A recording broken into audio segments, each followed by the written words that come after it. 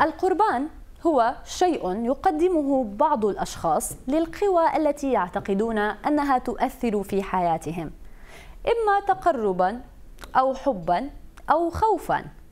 لكن أن يكون الإنسان هو القربان الذي يقدم فهذا ما يثير المخاوف والرفض الواسع كما في قصتنا التي تأتي من محافظة ذي قار في العراق. فقد هزت هذه القصة المنصات وهي قصة جماعة القربان وأحدثت جدلا واسعا داخل وخارج العراق بسبب بيان للأمن العراقي. البيان نشر على صفحة وكالة الاستخبارات والتحقيقات الفيدرالية العراقية بأنه ألقي القبض على أربعة أشخاص ينتمون لجماعة القربان في محافظة ذي قار. ونشرت لهم ثلاث صور فقط هي هذه.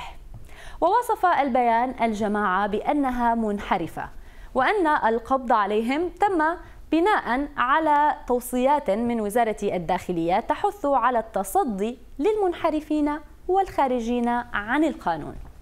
البيان مشاهدينا كان مقتضبا جدا.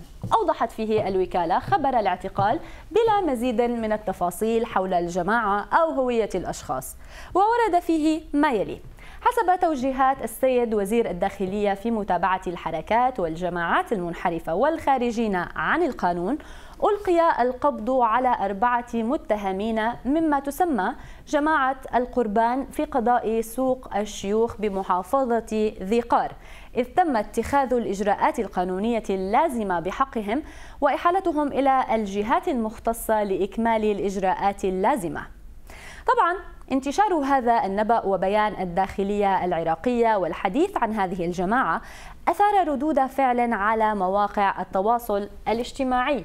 فمثلا هنا عمار المشهداني قال نشد يدا بيد للحد من تلك الأعمال الدخيلة على المجتمع والقضاء عليها ومحاسبة من يقوم بها ضمن إجراءات القانون الصارمة وتقديم الجنات إلى القضاء لإجراء اللازم شئتم أم أبيتم؟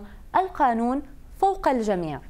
أما رعد الموسوي فيقول بعد المؤسسة الدينية عن الواقع الاجتماعي يتسبب بظهور تلك الفرق والجماعات وربما نشهد المزيد منها في المستقبل. أخيرا تغريدة من محمد رمزي يقول واضح أننا بنرجع لعبادات ما قبل الجاهلية وتأليه الإنسان زي فرعون والنمرود وتقديم قرابين بشرية.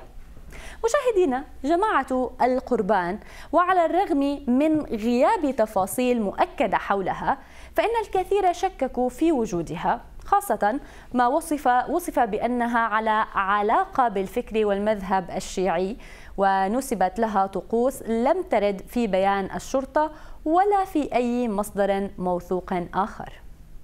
شكرا جزيلا لمشاهدتكم ترندينج سنسعد باشتراككم بالقناة ومشاركتكم لقصصنا وإعجابكم بها والتعليق عليها.